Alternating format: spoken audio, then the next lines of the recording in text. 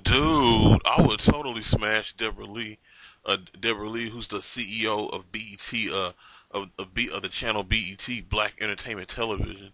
Like, uh, I think she she's been uh, holding down that position for like the last 16 years, if I'm not, if I'm not mistaken, ever since Bob Johnson sold it to that demon Jew who, owns Viacom. Like, uh, like it became some entity. Like, after like a, uh, the the the, the demon Jew uh bought VH1, MTV, and BET and put them under the same umbrella.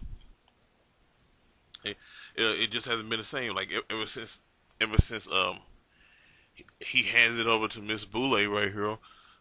Like a uh, BET hasn't been the same for like the last 16 years after it, after Bob Johnson foolishly sold uh sold that channel uh to Viacom. You don't see any more black. You don't see no more black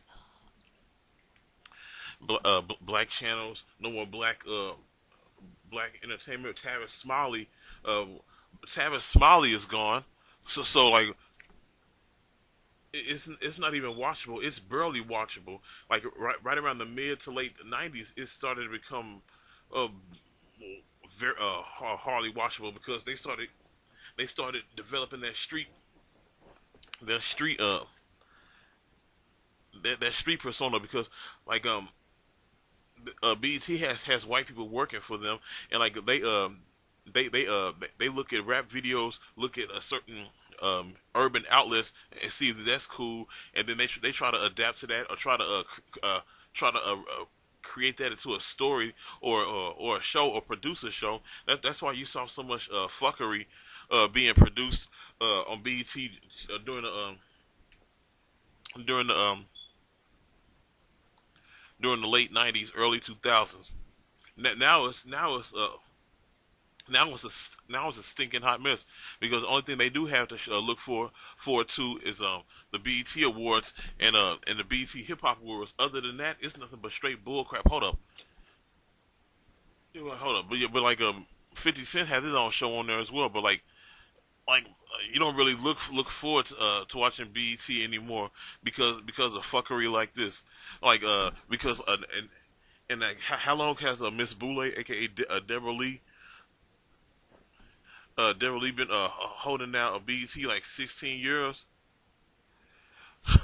and uh, of course they, uh, I'm, I'm not bashing light skinned people, but but like whenever they have like uh, whenever uh, somebody white who's in a high position of power uh, gets a black person to, to uh, give a, a, give a piece of the pie to, to, a black man or woman, they always find some boule, some boule uh, brother or sister to hold control over it.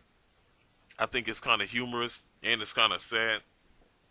But I was thinking, like, damn, uh, like like when I look at somebody like Debra Lee, my cougar, I have a cougar fetish. I love fucking uh, women who are, I love fucking older women. I was thinking to myself, damn, uh, if if I smash her, will, will, she, will she give me some money? Will she give me a car that I need, or will she like uh, give me my own TV show? I don't know if she's married or not. Excuse me for saying this. I don't know if she's married, but like, I think of. I would totally. Uh, I, I, I probably fuck a few thousand out of her. Uh, because, uh, due to the, due to the fact that I have a cougar fetish and she she's not that uh, hard to look. Uh, she she's a little easy on the eyes. I'm just saying. But uh, I, I just want to like um, how much power does does uh Debra Lee actually have within that that realm? I know she's the CE, she's the quote unquote CEO of BET, but how much power does she really own or have? Especially when it comes to especially when it comes to Viacom uh, uh, uh stock. I'm just wondering.